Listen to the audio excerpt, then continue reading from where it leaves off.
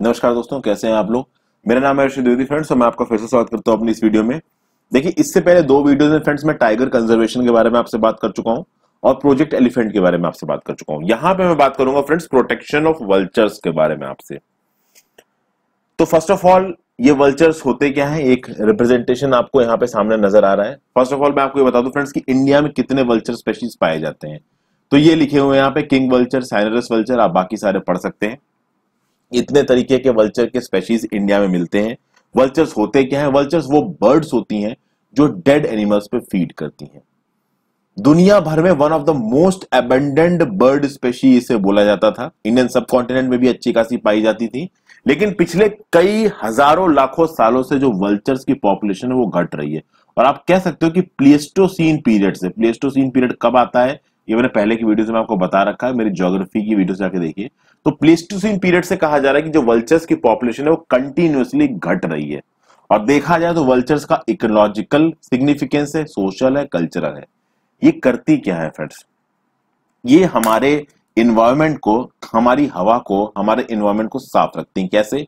जब इंसान, जब एनिमल्स मर जाते हैं, जब एनिमल्स मरते हैं ना फ्रेंड्स तो उन एनिमल्स के डिकम्पोजिशन के काम में एक वल्चर्स बहुत मेजर रोल प्ले करती हैं।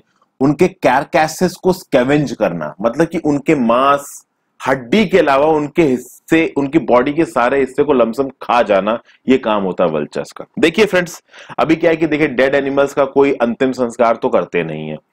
वो नॉर्मली मर के ज़मीन पर पड़े रहते हैं। तो नेचुरली नेचर ने एक प्रोसेस बनाया है। आप कहते हैं ना कि नेचर के अलग अलग ट्रॉफिक लेवल्स पे अलग अलग ऐसे लोग हैं कि नेचर ऑटोमेटिकली अपने आप को बैलेंस पे रखता है। तो ये वल्चर्स इन एनिमल्स को खा जाती हैं और जो इनकी बोन्स बची होती हैं, सिर्फ़ बाकी सब कुछ इनकी बॉडी पार्ट से वल्चर्स खा जाते हैं। तो एक तरीके से कह सकते हैं कि हमारे एनवायरमेंट की गंदगी साफ़ होती है क्योंकि जब एक बार इंसान मर जाता है चाहे वो इंसान हो, चाहे वो एनिमल हो तो वो गंदगी ही बन जाता है इन्वायरमेंट के परस्पेक्टिव से। तो ह्यूमन बींग्स का तो देखिए अंतिम संस्कार हो जाता है, ठीक है अलग अलग धर्म के हिसाब से। लेकिन जो चिड़िया होती है वर्ल्ड वल्चर होती है एनिमल्स इनका तो कोई अंतिम संस्कार करता नहीं है। तो इनके लिए वल्चर्स होती हैं। और इसका करने से क्या होती है कि भाई जो कार्केसेस हैं, इसके मांस को अगर इन वल्चर्स ने नहीं खाया तो मांस खुले में सड़ेगा। उसमें बहुत सारे माइक्रो ऑर्गेनिज्म बैक्टीरिया इंसेक्ट्स फैलेंगे। फिर वो इंसेक्ट्स जगह जगह जाके डिज़ीज़ फैलाएँगे। अगल बगल के वाटर और सॉइल को कंटेमिनेट करेंगे। इस तरीके की प्रॉब्लम्स हमारे सामने आ सकती हैं। पारसी कम्युनिटी के लोग तो ये मानते हैं कि वो डेड जिसको स्केवेंजर बर्ड वल्चर ने कंज्यूम किया है, उसकी स्पिरिट को मुक्ति मिल जाएगी, ऐसा माना जाता है। अभी के लिए आप कह सकते हैं कि जो वल्चर्स हैं, ये इनडेंजर्ड बर्ड स्पेशीज में आती हैं। काफ़ी ज़्यादा ये इनडेंजर्ड हैं। अब पहली बार फ्रेंड्स ये वल्चर्स खतरे में है, इनकी पॉपुलेशन घट रही है, ये कब आइडेंटिफाई हुआ? तो देखिए, राजस्थान में है भरतपुर बर्ड सेंचुरी ये भरतपुर बर्ड सेंचुरी फ्रेंड्स किसका पार्ट है? ये भरतपुर बर्ड सेंचुरी पार्ट है आपका कियोलादियो नेशनल पार्क का। तो 1998 में ये समझ में आया, लोगों को नज़र आया कि भाई, इनकी जो पॉपुलेशन है ना वल्चर्स की, ये घट रही है। तो लोगों को नज़र आना शुरू हो गया कि ये बर्ड्स की पॉपुलेशन घट रही है कियोलाजियो नेशनल पार्क में? 1999 में देखा गया कि इंडिया पाकिस्तान और पूरे नेपाल में कंसिस्टेंटली वल्चर्स की पॉपुलेशन घट रही तो एक प्रॉपर रिसर्च शुरू हुई पाकिस्तान इंडिया नेपाल तीनों जगहों पे कि भैया ये वल्चर्स घट क्यों रहे हैं? क्योंकि देखिए इन्वायरमेंटलिस्ट के अंदर एक अलार्म सिग्नल चला गया था। इन्वायरमेंटिस्ट ने बोला था कि अगर वल्चर की पॉपुलेशन घटेगी तो इन्वायरमेंटल क्लीनिंग में बहुत प्रॉब्लम आएगी। धीरे धीरे धीरे धीरे ये डिस्कवरी सामने आई कि क्या होता है कि पूरे इंडिया, नेपाल और पाकिस्तान में जो कैटल होती है ना, अब कैटल में बहुत सारी चीज़ें हो सकती है, बकरियाँ हो सकती हैं, भेड़े हो सकती है, गाय हो सकती हैं, ठीक है फ्रेंड्स तो ये जो आप कह सकते हैं कि जो कैटल्स होती इन कैटल को एक पेन क्लियर दिया जाता था, जिसको एक एंटी इन्फ्लेमेटरी ड्रग भी कहते हैं डाइक्लोफेनाक ठीक है? डाइक्लोफेनाक और कैटल में एक जानवर होता है काऊ। अगर आप काउ की बात करो तो फ्रेंड्स आप जानते हैं कि इंडिया में ज़्यादातर लोग हिंदुइज्म धर्म को फॉलो करते हैं तो इंडिया में काउस को मार के नहीं खाया जाता है। तो काउ की स्कैवेंजिंग करने में इन वल्चर्स का एक बहुत मेजर रोल होता है, ये याद रखिए। क्योंकि आप पाकिस्तान और बांग्लादेश जैसी कंट्री में चले जाएँगे तो वहाँ पे तो काऊ को मार के खाते हैं। लेकिन आपका नेपाल में और इंडिया में काऊ को नहीं खाया जाता है। तो काऊ की स्केवेंजिंग इंडिया में कौन करता है? तो ये वल्चर्स करते हैं। तो भैया ये जो आपके साइंटिस्ट थे, उनको ये समझ में आया कि ये जो कैटल को हम लोग डाइक्लोफिनाक दे रहे हैं एंटी इंफ्लेमेटरी ड्रग इस, ये फिर कैटल जब मरती है तो इनके अंदर ऑब्वियसली बात वो डाइक्लोफिनाक रहता है। और this diclofenac is actually a poison this diclofenac is actually a poison for vultures और खासकर इस डाइक्लोफिनाक ने तीन स्पेशीज को सबसे ज़्यादा खतरा पहुँचा है। वो तीन स्पेशीज कौन सी हैं?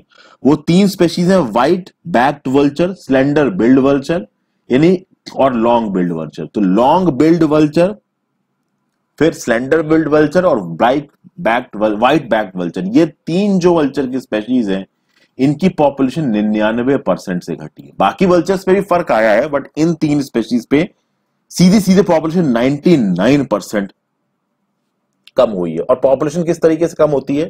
कि देखिए फ्रेंड्स होता यह है कि जैसे ही डाइक्लोफेनाक वाले कैरकैसेस को ये वेल्चर्स खाएँगी, उनके अंदर वाइसरल गाउट की प्रॉब्लम आएगी। वाइसरल गाउट मतलब कि एक किडनी फेलियर हो जाएगा उनके अंदर।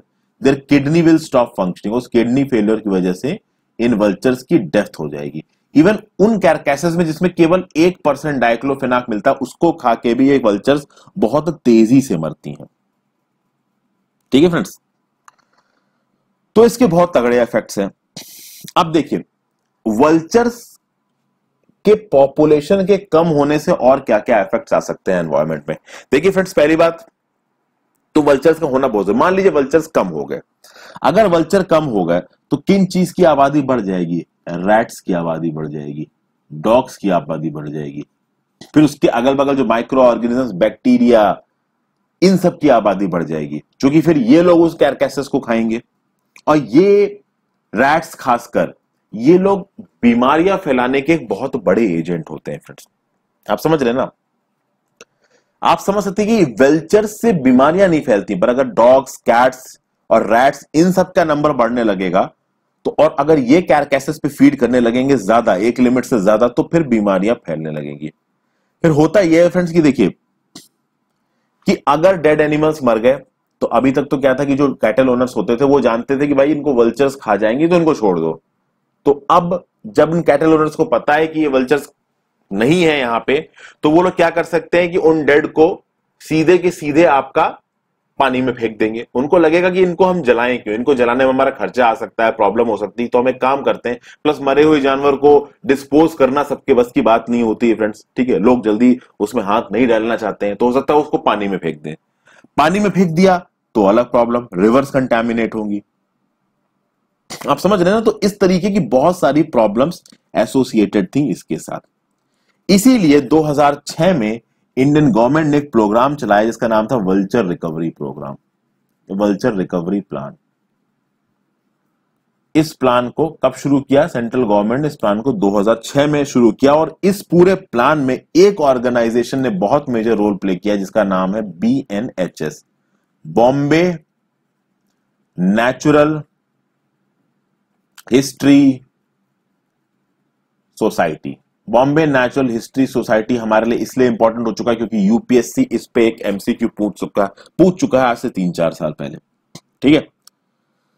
तो इसमें तीन चार चीज़ें कही गई कि भाई आप तीन स्टेप्स को फॉलो किया जाएगा इस वल्चर्स को रिकवरी करने के लिए। पहला स्टेप तो यह है कि भैया हम लोग जो वेटनरी यूज़ है डाइक्लोफिनैक का, इसको आप बैन करो।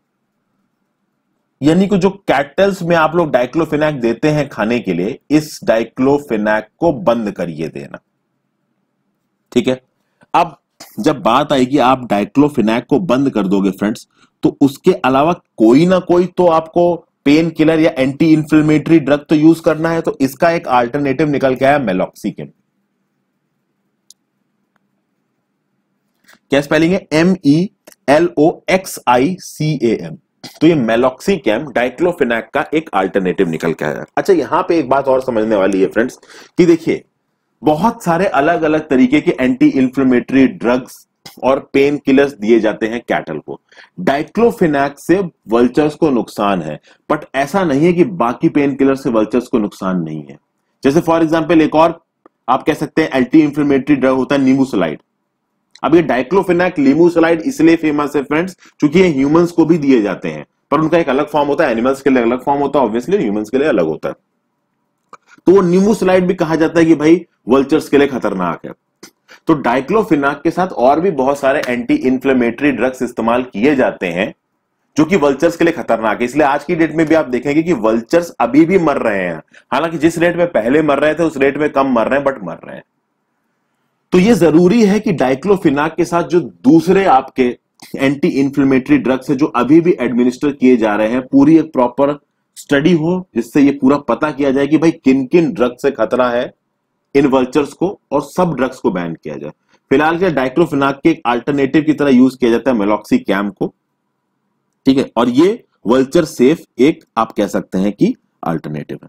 तो पहली स्ट्रेटजी तो ये हो गई कि आप डाइक्लोफिनैक के जो यूज़ है, उसको कर दीजिए आप बैन दूसरी स्ट्रेटजी क्या है? कि फ्रेंड्स इसमें आपको करना क्या है कि आपको इनकी आबादी को बढ़ाना है और सेफली इनकी आबादी को बढ़ाना है। तो कंजर्वेशन ब्रीडिंग प्रोग्राम आपको चलाना है। What have to do you have to do conservation breeding programme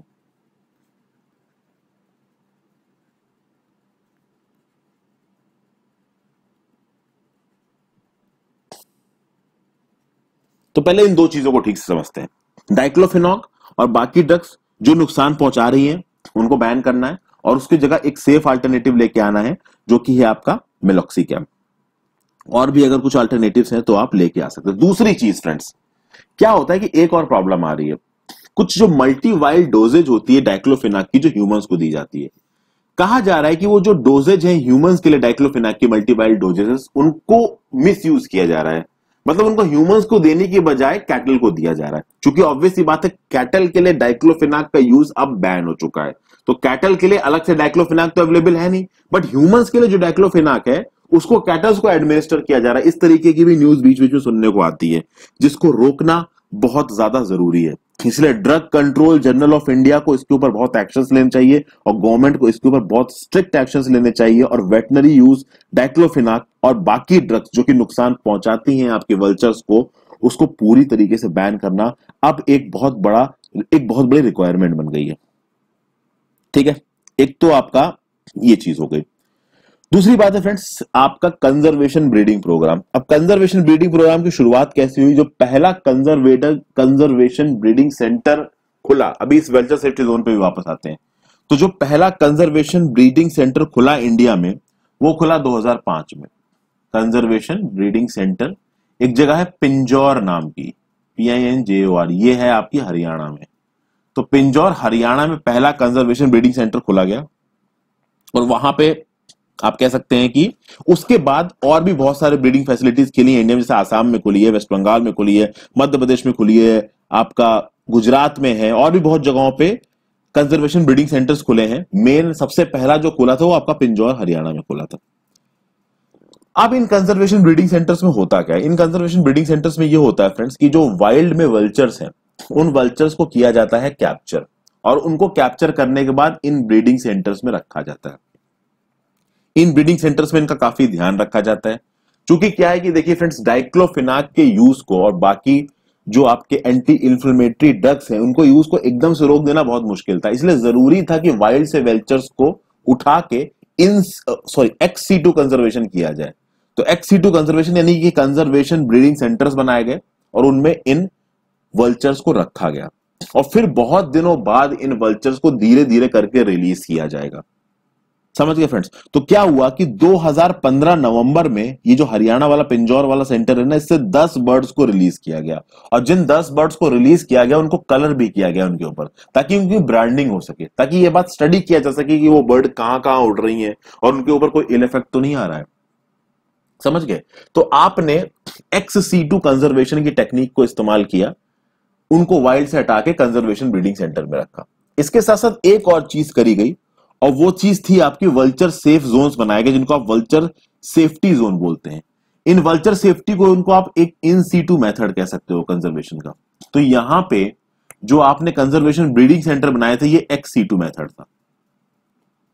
और ये जो वल्चर सेफ्टी जोन है, ये आपका इन सीटू कंजर्वेशन इसमें क्या होता है फ्रेंड्स आपको? कि भाई 100 किलोमीटर का रेडियस कम से कम। या फिर कह सकते हैं कि लगभग 150 किलोमीटर का रेडियस होगा, जिसमें नेचुरल हैबिटाट होगा आपका वाइल्ड वल्चर्स का। नेचुरल हैबिटेट होगा वाइल्ड वल्चर्स का, वहाँ पे जितना भी कैटल्स होंगे, उनमें से किसी को भी डाइक्लोफिनाक नहीं दिया जाता। यानी वहाँ पे जो भी एनिमल करकैसेस मिलेंगे, वहाँ पे कोई भी, उनमें कोई भी डाइक्लोफिनाक नहीं होगा। तो देखिए safe source of food that is free of contamination from veterinary drugs, poisons and other agricultural chemicals. A place where vultures can feed free from human disturbances. समझ गए यानी कि इस 150 किलोमीटर के रेडियस में या एटलीस्ट 100 किलोमीटर के radius में जो भी एनिमल कैसेस मिलेंगे उसमें कोई भी डाइक्लोफिनैक नहीं होगा किसी भी तरीके की ह्यूमन इंटरफेरेंस की वजह से वल्चर्स को कोई भी तरीके का खतरा इन वल्चर सेफ्टी जोन्स में नहीं होगा। ये वल्चर सेफ्टी जोन्स पूरे इंडिया में सेटअप किए गए हैं। गुजरात, झारखंड, उत्तराखंड, आसाम, उत्तर प्रदेश, हर जगह सेटअप किए गए हैं। ठीक है फ्रेंड्स फिर कुछ वल्चर रेस्टोरेंट्स को भी सेटअप किया गया। कुछ ऐसी जगहें बनाई गई हैं। उन जगहों पर एनिमल करकैसेस को रखा जाता है ताकि ये वल्चर्स आके उन एनिमल करकैसेस पे फ़ीड कर सके। और इस बात का ध्यान रखा जाता है कि वो जो एनिमल करकैसेस हैं दे आर टाइक्लोफिनैक फ्री या फिर किसी और तरीके का एंटी इंफ्लेमेटरी जो ड्रग है, वो उसमें नहीं है। तो आप कह सकते हैं कि extra food close to breeding colonies this helps to increase the breeding success by improving the survival chances of young vultures तो तीन चार तरीके की चीज़ों को हमने देखा है फ्रेंड्स एक तो हमने बात की वल्चर सेफ्टी जोन की, फिर हमने बात की कंजर्वेशन ब्रीडिंग सेंटर की। सबसे पहला कंजर्वेशन ब्रीडिंग सेंटर खोला गया आपका पिंजौर, हरियाणा में। उसके बाद तीन और वल्चर ब्रीडिंग सेंटर्स इंपॉर्टेंट है, आप याद कर लीजिए। एक है आपका गुवाहाटी, आसाम में। ठीक है? गुवाहाटी में एक आपका पिंजौर, हरियाणा में एक आपका बुक्सा। बुक्सा नाम की जगह है वेस्ट बंगाल में। एक आपका भोपाल, मध्य प्रदेश में। बाकी और जगह पे भी खुले हैं। एक लोअर लेवल पे, पर ये चार मेन आप कह सकते हैं कि ex situ conservation sites हैं, जिनको कंजर्वेशन ब्रीडिंग सेंटर बोला जाता है। समझ गए?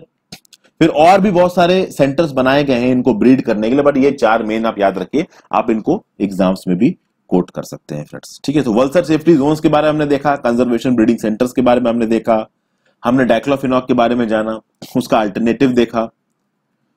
तो आई होप आपको समझ में आई होगी ये चीज़ फ्रेंड्स थोड़ी बहुत, कि क्या फ़ायदे हैं, नुकसान है वल्चर्स के, कैसे इनको हम लोग प्रोटेक्ट कर सकते हैं. तो आई होप ये वीडियो आपको पसंद आई फ्रेंड्स पसंद आई तो लाइक कर दीजिएगा. चैनल को ज़रूर सब्सक्राइब कर दें शेयर कर दीजिए वीडियो को तो सब्सक्राइब करने से लाइक करने से शेयर करने से। इनफैक्ट अगर आप सब्सक्राइब नहीं भी कर सकते तो आप एटलीस्ट लाइक और शेयर कर दीजिए, जिससे यूट्यूब की एल्गोरिथम मेरी वीडियोस को और प्रमोट करें। अगर आप मेरे लिए कुछ करना चाहते हैं, आपको लगता है कुछ फ़ायदा मिल रहा है तो ये ज़रूर कर दें फ्रेंड्स तो thank you for watching have great day